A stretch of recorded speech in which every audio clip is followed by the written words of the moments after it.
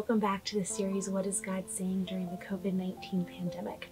I hope you all had a wonderful Easter and you are enjoying your day right now. Today we are going to talk about humility and what that looks like. Humility is complicated.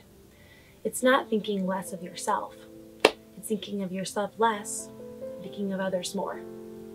It's a hard thing to do. I think we all can admit we, we like to put ourselves first most of the time. And if you believe in God or don't believe in God, having the, the characteristic of humility is an amazing characteristic. It's probably something a lot of us want to strive for. It says in the Word of God, the Lord opposes the proud and exalts the humble. And as we step into a season of wanting to be more humble um, in hopes and prayers that our land will be healed by this humility, um, I wanted to talk about one of the most amazing people that has ever lived who demonstrates the purest, most beautiful um, place of humility. Some of you may know who this is, and some of you may not. He goes by the name of Jesus Christ. Jesus Christ is one of the most humble human beings that has ever walked the planet. He came and he served.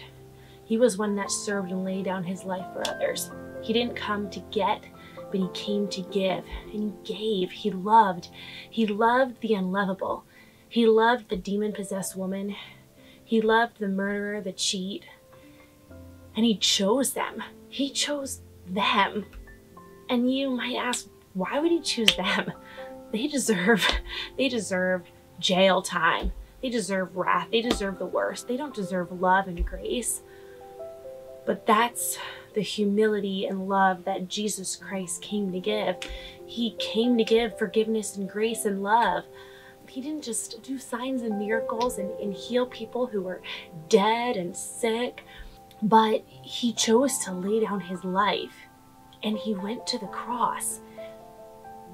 He hung on a cross that was meant for a sinner, but he lived a sinless life. He laid down his life for you. He laid down his life for me. He laid down his life so we may live. He took on the wrath that we deserved in our sin and he wiped it away. He forgave it. He took it on the cross. and as we just celebrated Easter, he didn't just die a death that he did not deserve, but he proved himself to be God by raising himself from the dead and many witnessed it. Many witnessed it. I had a dream once of finding my sister Crystal dead. Well, I did find her dead. I found my sister Crystal dead, and I had a dream of seeing her in the marketplace, real. I saw her walking around in the marketplace, and and I didn't know what to do. I was like, everyone was at the funeral, everyone saw her dead, but now she's walking around. Now she's walking around the earth. What am I supposed to do? I, I can't, I have to talk about this, but people are going to think I'm crazy. But I saw her. I touched her. I touched her real flesh.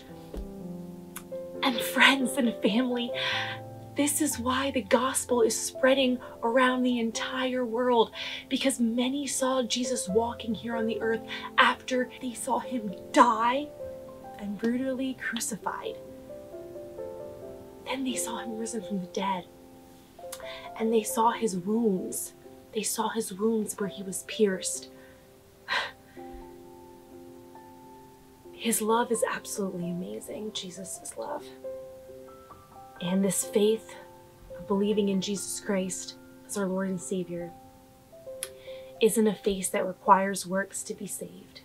It's not a faith that comes from what people do and how people sin but it's a faith that comes from the fact that our God chose to die for us. And there's no other faith out there where their God died for them and forgave them and didn't require them to do any works just to believe in his love and his mercy and his grace. That's it. That's it. And so I don't know where you're at right now. And I know maybe you're, you might just not be able to understand this type of love, but it's not my job to make you believe. God will find you in that secret place, maybe up in your attic, maybe in your room. My heart is just that you feel and know how radically loved you are by the God that came so humbly for you. He came so humbly for you and he just wants to give. He just wants to give love. He doesn't want to take anything away from you. He just wants to love you and he just wants you to receive that. And so that's my little lesson teaching on humility. And maybe we all can try to walk more humble as we draw close to Jesus, the man, the God who loves us in our sin. the next topic I'm going to talk about is going to be a beautiful topic just like this.